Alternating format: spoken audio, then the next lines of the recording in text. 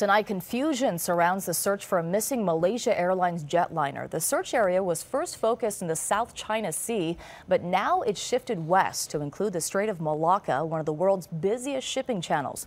The Malaysian military revealed today its radar shows the plane may have a, done a U-turn and flown back over the country hundreds of miles off course at a low altitude before it disappeared.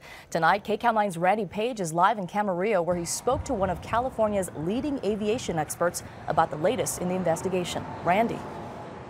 That's right. Barry Schiff is pointing out that we are now into day four and still no sign of any oil slick, any wreckage, no evidence of any distress call. This is still very much a mystery. I try to figure out what, what they went through, what happened. I'm having a great amount of difficulty.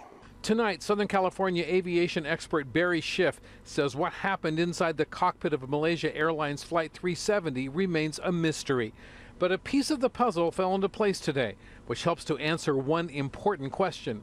Why hasn't wreckage from the 775,000 pound airliner been found? We've been looking in the wrong place. It was learned today the Boeing 777 veered off its flight path and was traveling in the opposite direction when it disappeared from Malaysian military radar.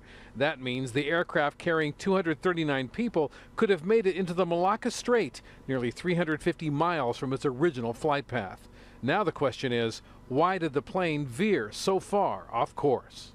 The change in course could be because of a, a catastrophic problem aboard the airplane that necessitated an immediate return to their home airport, or uh, they had to make the turn because of uh, being forced to do so by uh, some criminal element. Schiff, who's logged 28,000 hours in more than 300 types of aircraft, including passenger jets, says there is simply not enough known to draw any real conclusions.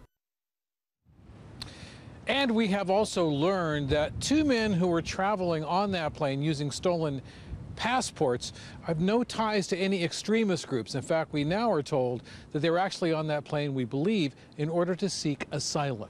So the mystery continues. Live in Camarillo, Randy Paige, KCAL 9 News. And